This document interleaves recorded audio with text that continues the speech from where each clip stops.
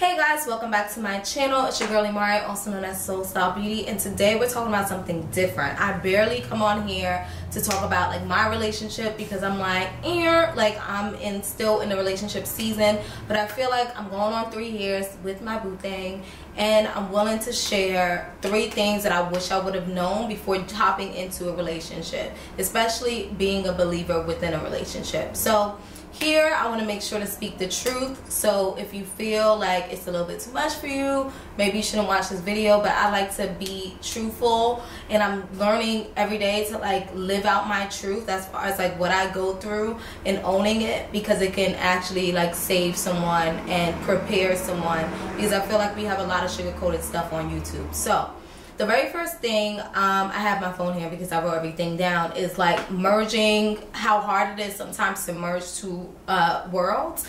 Just because like your significant other is going through a lot of stuff where they were raised a certain type of way maybe in your past relationship like he was okay with you know saying certain things or just operating a certain way and like merging those things together sometimes can cause a little bit of like a clash. So I had to make sure that I set out like or I express myself like clearly when something didn't work. Like for example, Jose, um, not intentionally, but he uses a lot of like um, what is it? Oh my god. Terms of endear of endearment. When We first got into the relationship and I was like, oh nah, like we're not no. like even though you don't mean anything by it, to the other person I can lead them on. And like you're an attractive guy. Like people can definitely run away with this. But like merging two worlds believer non-believer it's sometimes really hard. So you kind of like have to discuss that so the person can adjust if they're willing to to the things that you don't like because it's just not gonna work. So that's the very first thing. The second thing that i personally um, went through is like checking my own insecurities. Um, i feel like we all have insecurities sometimes and one of the things that really one of the things that really bother me or about just guys in general it's like you know if they look at a certain female and you're literally sitting in front of them. It happened to me in past relationships and i was like oh nah.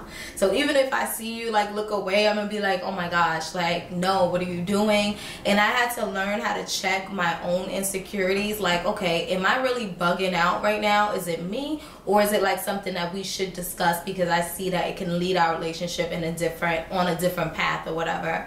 Um, so i think that a lot of the time times um, it was me and my own insecurities and i had to learn and pray like for certain things for me to be secure within my relationship. Also a lot of people and it's so crazy because i have a friend close friend which is my boyfriend's best friend named hugh and he keeps it real 100% and one of the things that he said is sometimes like you are so conditional like with your love. So if you say like oh my gosh my relationship is going good. My boyfriend is doing so much for me. I love you because of that. The moment that he starts to switch it's like a temperature change. Like i can't stand you.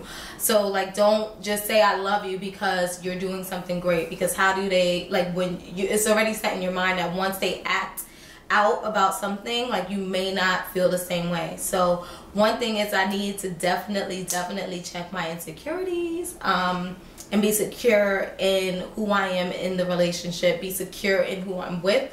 Um, and yeah. So the very last thing was i'm learning to pray more than i talk like than talk more because a lot of things like if your boyfriend has a habit for instance that you don't like and you're like, yo, you really need to get this together. I can't stand when you do this. I can't stand when you joke around this way. I, I feel like you have this habit of like talking does nothing. It's a waste of time, like literally. Um, and I'm learning that, and it, it sounds very cliche, but I'm learning that once I'm like writing down something and I write down, um, you know, an issue that's going on within my relationship, then it's kind of like, okay, God, I'm going to circle this issue in prayer. I'm going to circle this issue in prayer. Um, and that does more than me talking and nagging because it creates a lot of tension within your relationship. Like, it was a lot of things that I felt like I could have saved my breath, my words, just my stress you know um, instead of just like talking about it like i can pray about it and god turned it around and i look up and i'm like oh i remember when i was complaining about like certain habits that he has and I'm looking up and I'm like oh god wow like I'm now looking at the situation that I once prayed for.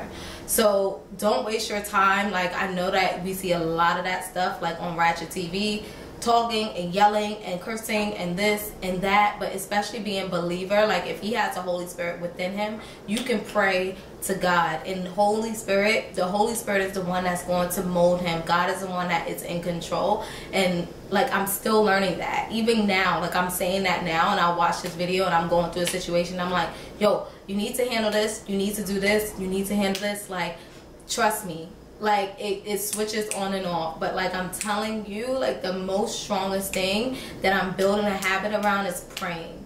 Um, because i know especially in a marriage as believers you have to be so anchored you have to be so prayed up. And like i heard that majority of your marriage like you're on your knees praying for your relationship praying for your husband praying for your kids like everything is dealt with through prayer. So I'm learning to like talk less, like say less. But anyways, those are my three things. I hope that you guys um, took away something and I hope that you resonated with the points that I shared. Um, as we go into a new season, because we are starting premarital, a, a, a, a, we're starting premarital, um, I believe in April. I think. Um, but we have a meeting um, with a pastor in our church next month, and we are starting premarital courses. So it's going to be so exciting. But I hope that you guys enjoyed this video, and I'll see you in my next one. Bye, guys.